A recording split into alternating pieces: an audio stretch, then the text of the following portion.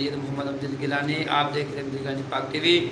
آج میرے ساتھ ہے محمد اکمل علی سلطانی اور محمد دانیال قادری اور سید محمد اشفاق گیلانی، ڈاکٹر محمد خالد۔ تو آج ہم آپ کو سنوائیں گے جو کہ محمد اکمل علی سلطانی سے کلام پاک، جو کہ رمضان المبارک کے بابرکت مہینے سے جو ہے یہ آپ کو ان کی ان کے آپ کی خدمت میں کلام پاک پیش کریں گے۔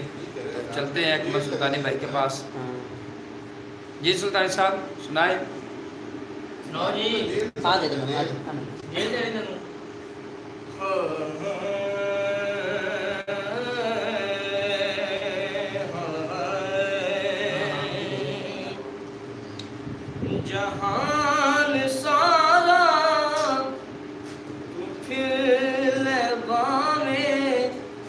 مدین ورگی فضان ملسی واہ۔ فضان ملسی